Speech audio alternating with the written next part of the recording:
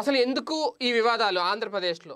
ఎందుకు మత విద్వేషాలు రెచ్చగొట్టేలా కొంతమంది మాట్లాడుతున్నారు? అసలు తెలుగుదేశం పార్టీ చేస్తున్న ఈ వివాదాల వెనక రాద్ధాంతానికి అసలు కారణం ఏంటి అనేది ఇప్పుడు సోషల్ మీడియా వేదికగా ఒక చర్చ అయితే నడుస్తుంది. ఇటువంటి సమయంలో తాజాగా సజ్జల్ సజ్జల రామకృష్ణారెడ్డి గారు చేసిన వ్యాఖ్యలు ఇప్పుడు నిజంగా ఆసక్తి రేకెత్తిస్తున్నాయి. ఎందుకంటే హిందూ దేవాలయాల మీద దాడుల విషయంలో ప్రధాన ప్రతిపక్షం ఉంది అనేది ప్రధానంగా ఆయన ఆరోపించిన సందర్భం. ఎందుకంటే రాజకీయ స్వార్థం కోసమే ఇటువంటి కుట్రలకు తెరలేపుతున్నారు అనేది. అయితే ఎందుకు ఇలా చేయాల్సి వచ్చింది అనే వస్తుంది అనే దానికి సంబంధించి కూడా ఆయన దగ్గర నుంచి ఒక క్లారిటీ అయితే వస్తుంది. ఎందుకంటే ఒక పక్క జగన్మోహన్ రెడ్డి గారు అయితే అత్యంత భక్తిభావంతో ముందుకు వెళ్తున్నారు. తాజాగా ఆయన తిరుమలలో శ్రీవారికి వస్త్రాలు ఇవ్వడం కానివ్వండి అలాగే అత్యంత భక్తిభావంతో తిరుమలలో ఆయన చేస్తున్న తిరుమల ఆయన చేస్తున్న పర్యటన చూస్తే గనక నిజంగా చాలా అభినందించదగ్గగా దగ్గదిగా ఉంది.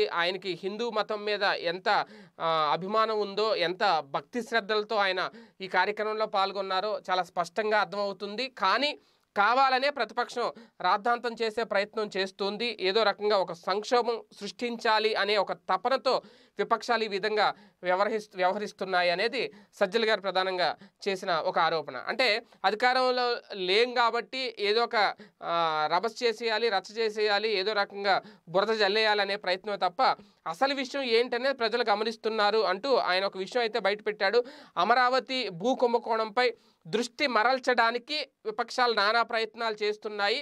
అందుకే ఈ మత వివాదాన్ని తెర మీదకు తీసుకొచ్చారు అనేది సజ్జల రామకృష్ణారెడ్డి గారు ప్రధానంగా చేసిన ఆరోపణ. హిందూ మతం పేరుతో టీడీపీ నేతలు ఇటువంటి నీచ రాజకీయాలకు పాల్పడుతున్నారు. దయ దయచేసి ఇటువంటి అసత్య ప్రచారాలు ఇటువంటి తప్పుడు రాజకీయాలు మానుకోవాలి అనేది. ఎందుకంటే ఈ అమరావతి భూ భూకుంభకోణం వ్యవహారం బయటపడితే కనుక దాని మీద పూర్తి స్థాయిలో విచారణ జరిగి సిబిఐ దర్యాప్తు జరిగి నిజానిజాలు బయటకు వస్తే తెలుగుదేశం పార్టీకి చెందిన చాలామంది నేతలు నేతల మీద కేసులు నమోదయ్యే అవకాశం ఉంటుంది. వాళ్ళ బినామీల పేర్లన్నీ బయటకు వస్తే కనుక అందరూ ఇరుక్కుంటారు అనేది ఇక్కడ ప్రధానంగా ఆరోపణ దాని నుంచి దృష్టి మరల్చడానికే ఈ మతం అనే వివాదాన్ని తెర మీదకు తీసుకొచ్చి మత విద్వేషాలు రెచ్చగొట్టేలాగా ప్రవర్తిస్తున్నారు. అందుకే ఈ డిక్లరేషన్ వ్యవహారాలు ఇవన్నీ ఒకప్పుడు వాళ్ళ హయాంలో లేనివి ఇప్పుడు తెర మీదకు తీసుకొచ్చి మతం రంగు పులుగు పులుగుతున్నారు ముఖ్యమంత్రి జగన్మోహన్ రెడ్డి గారి మీద అనేది. మరి ఇదంతా ప్రజలు కూడా అర్థం చేసుకుంటున్నారు అంటున్నారు సజ్జల.